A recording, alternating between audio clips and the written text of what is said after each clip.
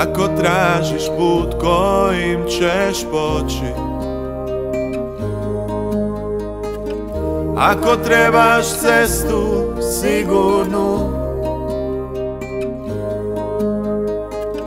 Poslušaj me sada jer sam jednog dana čuo Dobru vijest o Isusu Čuo sam da je za me umro. Jer je na sebe uzeo grijeh. I da je na križu platio kaznu. Za mene i za tebe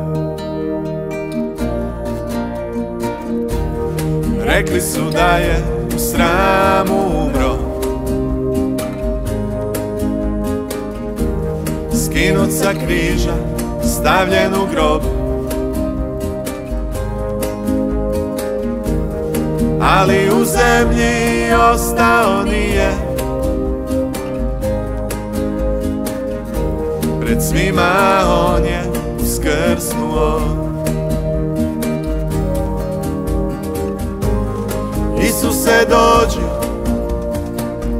tebi vjerujem Srcem svojim zovem te. Duša moja treba te. Ti si put, zato vodi me. Isuse dođi, tebi vjerujem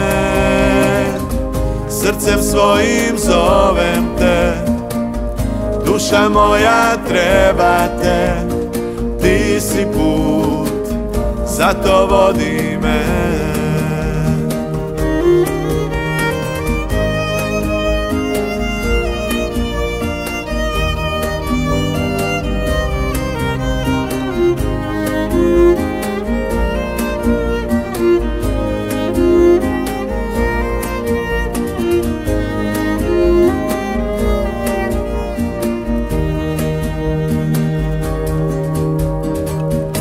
Srcem svojim zovem te. Duša moja treba te. Ti si put Zato vodi me. Rekli su da je u sramu umro. Skinut sa križa Stavljen u grob ali u zemlji ostao nije Pred svima on je uskrsnuo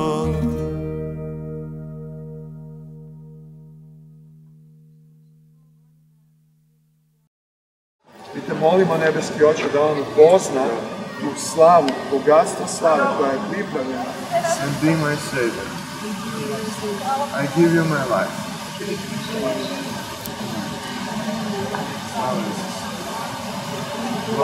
you.